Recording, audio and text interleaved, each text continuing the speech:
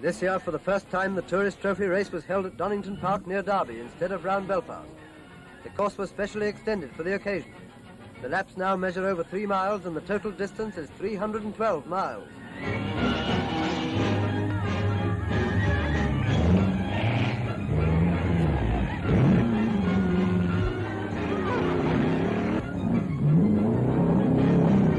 The winner was number 10, Comdotti, and his time was 4 hours 35 minutes.